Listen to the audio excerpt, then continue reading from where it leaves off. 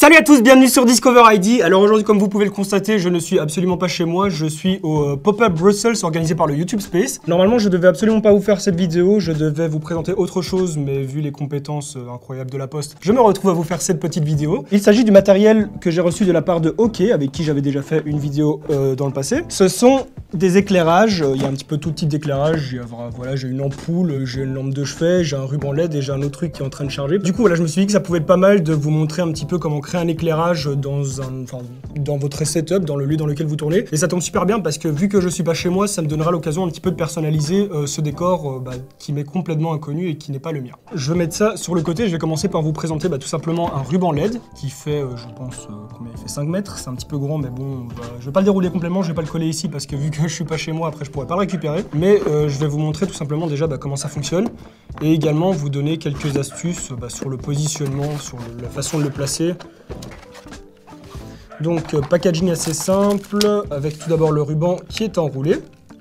On a l'alimentation en deux parties, et ici je pense que c'est l'émetteur qu'il faudra brancher. Voilà, c'est ça, c'est le petit émetteur euh, sans fil qui fonctionne avec cette télécommande qui est énorme.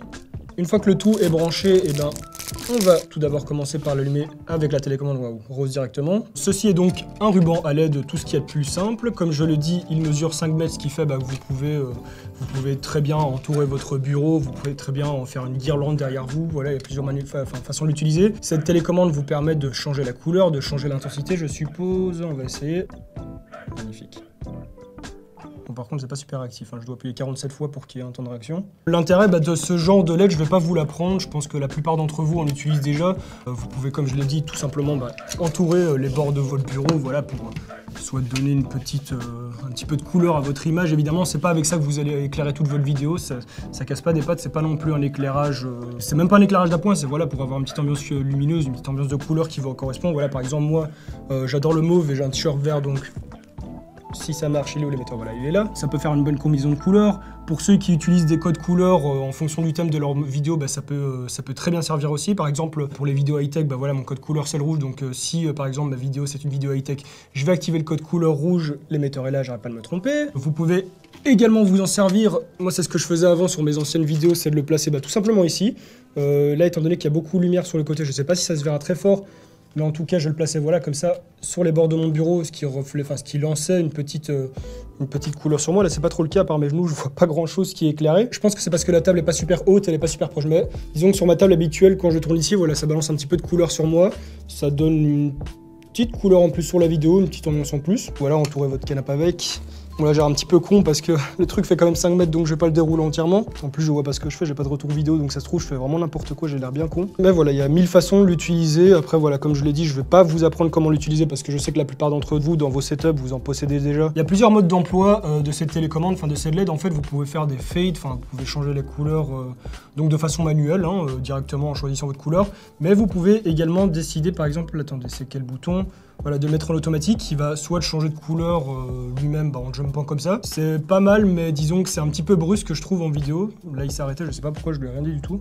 Ah non, voilà, là c'est parce que je l'ai mis en mode slow. Voilà, c'est ça le mode le plus intéressant, je trouve. C'est qu'il va changer de couleur par lui-même en faisant des dégradés entre chaque ton de couleur. C'est quelque chose qui est assez intéressant, je trouve ça joli, mais le problème c'est que si, comme moi, vous faites des vidéos dans lesquelles vous faites beaucoup de cuts, vous allez vous retrouver aussi avec des sauts de couleur bah, qui peuvent euh, peut-être parfois perturber un petit peu l'œil du spectateur. C'est-à-dire que là, par exemple, la couleur est verte, je peux très bien vous parler maintenant et la couleur sera bleue. Ensuite, maintenant, je peux vous parler, elle sera rose. Et voilà, chaque fois, ça va faire des, petits, euh, des petites coupures par contre, celle-là, je ne l'ai pas demandé, il l'a fait toute seule. Je vois qu'il y a aussi des macros. Euh, ici, vous avez des macros qui peuvent être attribués pour choisir vous-même vos modes de couleur, vos transitions. Ça peut bah, tout simplement vous servir euh, si, comme moi, vous faites des vidéos et vous voulez une petite ambiance lumineuse.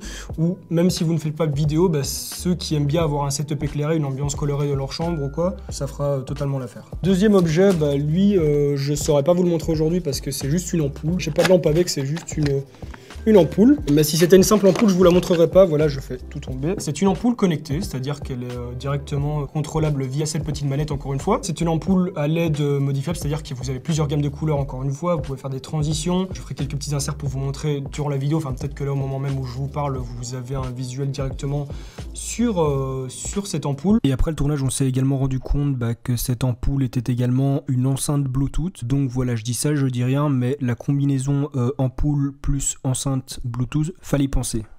Je sais pas qui a réellement inventé ça, mais je crois que c'est un génie. C'est vraiment une ampoule qui va servir de décoration, c'est-à-dire que si vous voulez une petite couleur voilà, derrière vous, un petit élément décoratif ou quoi sur vos vidéos, une petite couleur en plus, ça peut être intéressant, mais par contre c'est pas ça qui va vous éclairer, c'est pas ça qui va éclairer toute votre vidéo. On passe maintenant au troisième objet qui est une lampe un petit peu plus traditionnelle. Ça, c'est un petit caprice que je fais, on va dire que je me la suis prise pour moi-même plus qu'autre chose. Bon, également, vous la présentez en vidéo, mais c'est pas vraiment une, lampe euh, qui s'accorde au setup. C'est plus une lampe d'appoint, c'est plus un petit éclairage, c'est une veilleuse, euh, voilà, elle peut faire beaucoup de choses. Elle peut également vous servir en vidéo pour plusieurs choses, que ce soit pour donner une petite ambiance en plus, que ce soit pour euh, donner un éclairage, enfin compenser un manque d'éclairage quelque part. C'est une lampe un petit peu plus traditionnelle, pour ma part, je la trouve quand même design, elle est sobre et design. La particularité de cette lampe, bah, déjà, c'est que le panneau ici, déjà le panneau panneau ici et l'intégralité de la lampe prend beaucoup les traces de doigts.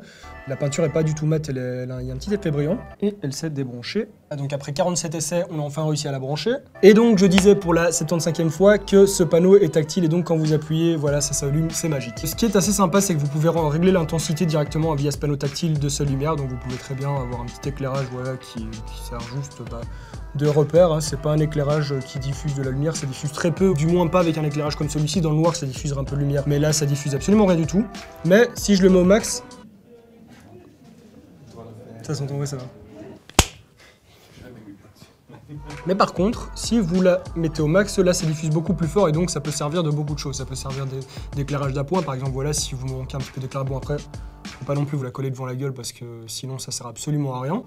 Mais si par exemple, je sais pas, vous avez un cadre beaucoup plus étroit et que vous avez besoin d'un petit éclairage supplémentaire, que ce soit sur le côté, de face ou quoi, ça peut servir pour ça aussi. Ah bah oui, j'ai oublié de parler de, cette fonction aussi, c'est que vous pouvez choisir la température de couleur. Ici par exemple, vous avez une température qui est un petit peu chaude mais sans plus. Ici, vous avez quelque chose de beaucoup plus chaud et là, vous avez quelque chose de vraiment beaucoup plus chaud. Ce qui est sympa aussi, c'est qu'elle peut s'avérer très compacte étant donné que vous pouvez la replier comme ça facilement. Ah, ça par contre, c'est un peu con. Ah non, c'est vraiment au contact. Donc ouais ça, faut faire attention parce que je pensais que c'était tactile via la chaleur ou quoi, mais non, c'est vraiment le contact, c'est-à-dire que quand vous la fermez, elle s'allume, donc faut peut-être pas la refermer complètement. On va donc maintenant passer au dernier objet qui est en train de charger. Et voilà, donc il s'agit d'une lampe, bah, tout ce qu'il y a de plus banal à première vue, mais euh, c'est encore une fois une sorte de veilleuse, c'est pas une lampe qui diffuse étant donné que voilà son... Le, le, le, le plastique, c'est quoi? C'est du plastique, c'est du... je sais pas exactement ce que c'est. Moi, je crois que c'est du plastique. Le plastique qui l'entoure, il est, teinté, il n'est pas du tout transparent. Et donc, ça risque, encore une fois, pas de diffuser beaucoup de lumière. Mais si, euh, comme l'ampoule, vous voulez une petite ambiance lumineuse dans votre setup, voilà, je la mets ici à côté de moi. C'est pas du tactile, mais je crois que c'est un capteur de chaleur. Parce que, par exemple, si je la touche, voilà, avec ça, ça fonctionne absolument pas. Mais voilà, elle fonctionne à détection de chaleur, donc au toucher avec les doigts. Ou alors avec votre bras si vous voulez, mais c'est un peu plus compliqué. Si ça marche. Vous avez un mode standard avec un éclairage assez simple, qui est un éclairage de type un peu chaud. Mais si vous donnez une petite double tapoche dessus, vous avez un éclairage plus coloré. Le premier mode de fonctionnement, c'est une espèce de petit dégradé, encore une fois, de, de couleur qui va s'effectuer automatiquement tout seul. Mais vous pouvez très bien l'arrêter exactement sur la couleur que vous voulez. C'est-à-dire que là, moi, j'attends par exemple pas le vert parce que je suis habillé en vert, donc ce sera un petit peu con. Le bleu, je tape une fois dessus, et il va s'arrêter sur le bleu. Et donc comme je dis, voilà, c'est encore un élément décoratif, c'est plus pour donner de la couleur euh, à vos vidéos, un petit peu de vie. Voilà, en général, moi j'ai toujours mon horloge sur le côté qui est d'une telle couleur. Si j'ai envie de contrebalancer un petit peu ou d'avoir un petit peu plus de couleur euh, dans mon espace, ben voilà, je mets celle-ci de, l'autre côté, ce qui fait que j'aurai un peu plus de vie et de couleur euh, dans mon background. J'ai été accueilli par les studios de YouTube et par l'équipe qui est derrière moi et qui est en train de tourner très gentiment et qui m'a fait tous mes trucs, là, qui m'a ramené un chargeur, des, des, prises, un fauteuil, une table, tout ça, tout ça. Encore une fois, ces objets m'ont été envoyés par OK, mon partenaire. Tous les liens des objets sont dans la description. Si vous avez aimé la vidéo, vous pouvez lâcher un petit pouce bleu pour me soutenir. Et si vous aimez ce que je fais en général, vous pouvez vous abonner à ma chaîne. D'habitude, j'ai le petit bouton derrière moi, mais aujourd'hui,